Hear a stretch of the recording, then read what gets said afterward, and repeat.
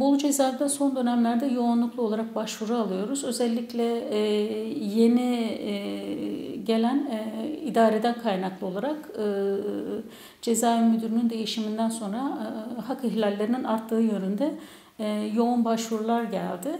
E, zaten uzun zamandır aslında e, genel anlamda hak ihlalleri devam ediyordu ama bu ağırlaşan tecrit koşulları, e, yüksek güvenlikli cezaevlerinin yapılması, S tipi cezaevlerinin yapılması ve Türkiye cezaevlerinde e, tecrit koşullarının yoğun bir şekilde tek merkezden sanki sürdürülüyormuş gibi e, çeşitli politikaların ortaya konması sonucunda e, neredeyse tüm hapishanelerde e, çok ciddi hak ihlalleri yaşanıyor.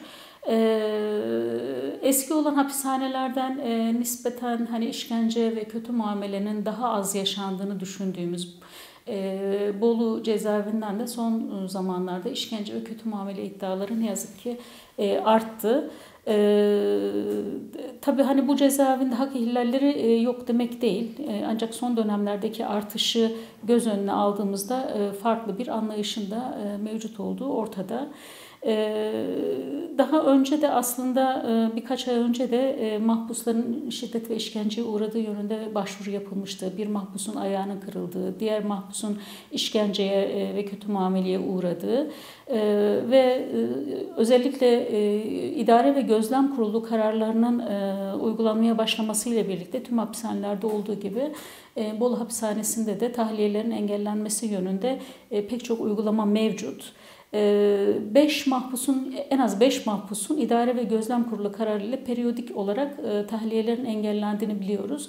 Bir de Bolu hapishanesi, F tipi hapishanesi e, uzun yıllardır e, hapishanede olan mahpusların tutulduğu bir yer. Neredeyse 28-29 yıllık mahpuslar çoğu ve onlara idare ve gözlem kurulu tarafından yani sürekli olarak iyi halli olmalarına rağmen iyi halli olmadıklarına dair e, raporlar düzenlendi.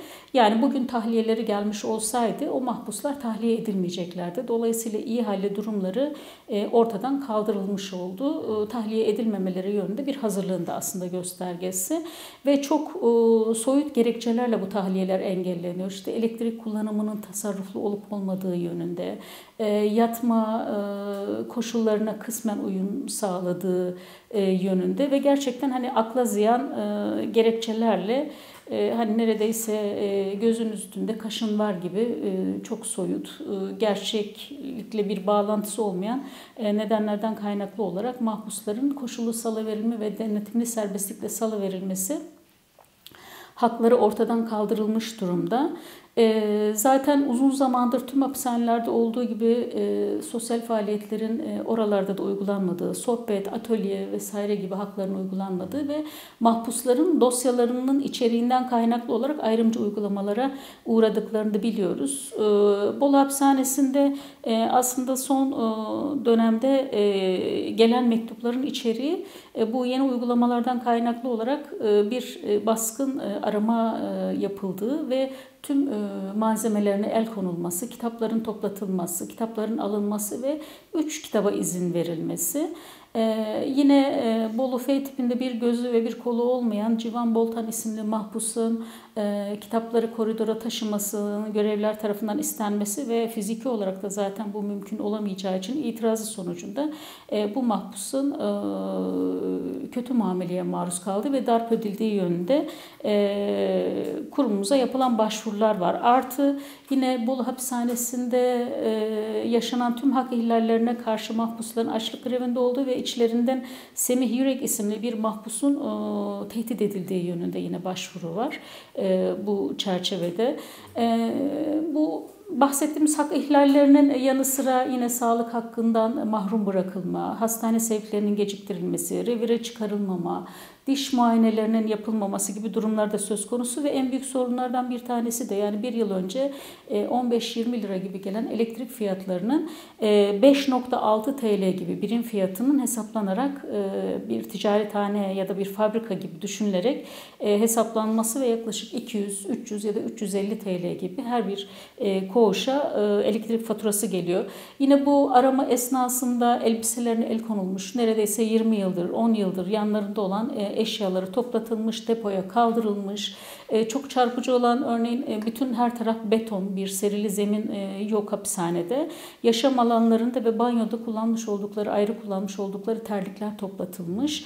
Ve burada e, yani üç mahpus e, tek terlikle banyoya girmek durumunda kalıyor. Şimdi e, havaların soğuduğu da düşünülünce ıslak zeminde kullanmış oldukları terliklerin sürekli ayaklarında kalması çeşitli hastalıklara yol açacaktır.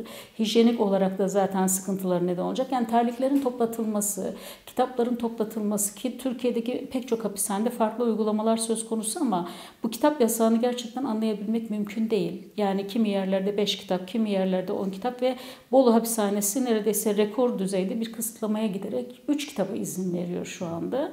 Ee, bunun gibi pek çok sorun var aslında. Ee, yani yaşamış oldukları e, sıkıntılara ve sorunlara karşı e, diyalog kurma girişimleri de ne yazık ki e, karşılık bulmuyor. Bundan kaynaklı olarak işte en son gelen başvurulara göre açlık grevinde olan mahpuslar var, şiddet ve işkence uğrayan mahpuslar var. Koğuşlarına girilip bütün eşyaları toplatılmış durumda. Kullanmış oldukları resim araçları, boyalar, yağlı boyalar, tüm bu araçlar da ellerinden alınmış durumda. Zaten hani hapishanelerde mahpuslar bu kapatılma mekanlarında sadece özgürlüğünden mahrum bırakılma koşullarının dışarına çıkartılarak aslında bütün bu uygulamalar hem psikolojik hem de fiziksel anlamda mahpusları tahribata uğratan bir çeşit işkence biçimidir. Biz bunu bu şekilde değerlendiriyoruz. En son Bol'da yaşanan bütün sorunlara karşı neredeyse siyasi mahpusların tamamı ee, hem bizlere hem de çeşitli kurumlara bunların ortadan kaldırılması ile ilgili başvuru yapmış durumdalar. AKP iktidarının ilk ilk başına geldiği dönemlerde 2002'nin sonuna doğru 59 e, bin civarında olan mahpus sayısı bugün 326 binin üzerinde. 5.5 e, kat artmış durumda. E, yani bu artış tabii toplumdaki insanların söz söyleyememesi, bunların engellenmesi, ee, dışarıda da aslında bir nevi tecrit koşullarının e, yan oturtulmasının yansıması tabii cezaevlerinde de e, ne yazık ki kendisini gösteriyor. E, aslında en büyük sıkıntıyı da hapishanedeki mahpuslar görüyorlar. Çünkü toplumun gözünden uzak bir yere konumlanmış durumdalar ve toplumun ilgisinden de bilgisinden de yoksun bir şekilde kalmış durumdalar ne yazık ki. Yani iktidar uygulamalarına karşı e, muhalefet e, ortaya koyacak e, partilerin de herhangi bir konuda bu konuda bir sözü yok ne yazık ki. E, bütün bunlar ortaya e, konduğunda aslında hani iktidarın nasıl bir hapsetme rejimini e, tutunduğu da ortada. 399 ee, hapishane var. 326 bin üzerinde mahpus sayısı var. Ee, siyasi mahpuslar işte yakın bir zamanda gazeteciler e, gözaltına aldılar, tutuklandılar. Ee, yaklaşık yanlış hatırlamıyorsam 25 e, gazeteci son dönemlerde cezaevine girdi. Yine e, seçilmiş olan belediye başkanları, milletvekilleri, siyasiler, hukukçular, yazarlar, e, pek çok aslında insanlar cezaevine ne yazık ki sadece muhalefet ettiklerinden dolayı konuluyor. E, şimdi bu tecrit koşullarının e, ağırlaşmasının göstergelerinden dediğimiz gibi hani en ağırını yaşayan mahpuslar ve gittikçe de artan bir durum söz konusu. Örneğin eski cezaevlerinin et bir cezaevleri kapatıldı. Şimdi mahpusların pek çoğu yeni açılan cezaevlerine sevk edildiler e, yüksek güvenlikli cezaevlerini ve S tipi aslında e, tüm kesimlerin eğilmesi gerekiyor. Çünkü tecritin çok ağır bir biçimini oluşturan yapılara sahipler. E, mahpuslar tek kişilik yerlerde tutuluyorlar. Üç kişilik yerlerde var ancak ne yazık ki e, siyasi mahpusların hiçbiri bu üç kişilik yerlere konulmuyor. E, odaların e, kendi e, mekanlarının e, dışına açılan bir havalandırma söz konusu değil. Mahpuslar bir saatliğine alınıyorlar ve bu havalandırma e, alanlarına götürülüyor. Bir saat orada tutuluyor tekrar e, koğuşuna geri getiriliyor. Yani günde bir saat havalandırma hakkından faydalanıyor. E, oysa gün ışığından faydalanmak her insanın hakkı e, fiziksel anlamda e, çeşitli sağlık sorunlarının engellenebilmesi için bu şart F tipi cezaevlerinde örneğin F tipi cezaevleri tecritin e, çok ağır bir biçimini oluşturuyordu.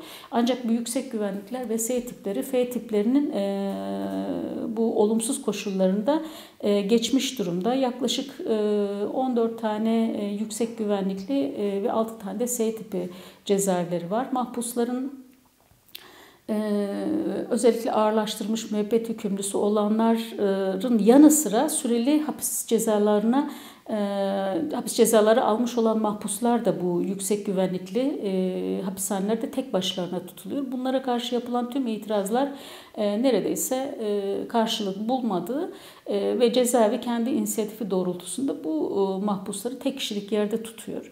Şimdi bu yüksek güvenlikli cezaevleri ve ağır tecrit koşullarının pek çok olumsuz durumu ortaya çıkacak. Ee, çünkü e, hem sağlık koşullarını hem de psikolojik olarak çok olumsuz etkileri meydana gelecek. Yani günün 23 saati bir e, kişinin e, kapalı bir odada tek başına tutulduğunu düşünmek gerçekten çok zor. Çünkü insan psikolojisine ve fizyolojisine uygun bir durum değil e, çeşitli sağlık sorunları olacak. Çünkü mesela e, çamaşırlarını yıkadıklarında kurutacakları bir alan yok. E, bu nedenle çeşitli akciğer hastalıkları, romatizmal hastalıklar meydana gelecek. Tek başına tutulan mahpusların e, psikolojik olarak rahatsızlıkları gittikçe artacak. Tek başına tutulmaması gereken mahpuslar, örneğin e, Bodrum S tipi e, ne sevk edilen bir mahpus tek başına kalamayacağına dair bir raporun olmasına rağmen o rapor yok sayılarak tekli yerde uzunca bir süre tutuldu. Ee, ancak yapılan itirazlar ve tekrar raporunun e, yenilenmesi üzerinde ısrarla durulması sonucunda 3 kişilik yere konuldu. Ee, bir bacağı e, yoktu, amputeydi e, ve ne yemek almada ne de kendi ihtiyaçlarını karşılama noktasında yetersizdi. Bunun gibi örnekler var.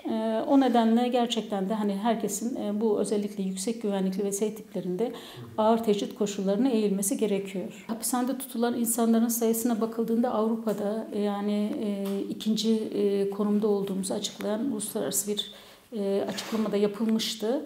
E, işte Ereğli Yüksek Güvenlikli e, Kapalı Hapishanesi'nde bir mahpusun e, kendisini yaktığı yönünde bir e, yeni bir bilgi e, geldi.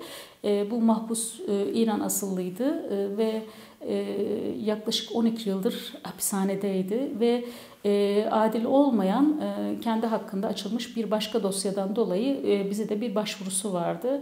E, umarız sağlığına kavuşur ve e, hayati tehlikesi ortadan kalkar.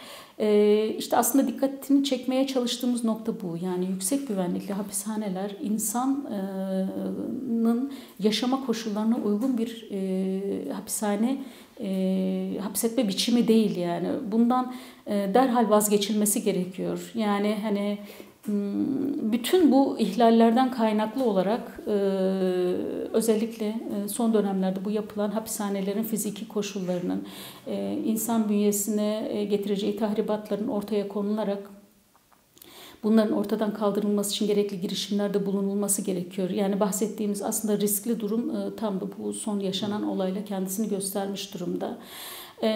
Türkiye'nin insan hakları karnesi ne yazık ki çok kötü. Bu insan hakları karnesinin de en kötü olduğu noktalardan bir tanesi işte bu hapishanelerde yaşatılan hak ihlalleri. Defalarca kez yaşatılan hak ihlallerine karşı bakanlık tarafından böyle bir durum yoktur şeklinde açıklamalar yapıldı. Ancak bu kadar mahpusun hapishanede tutulması bile tek başına aslında büyük bir sorunun ortada olduğunu göstergesidir.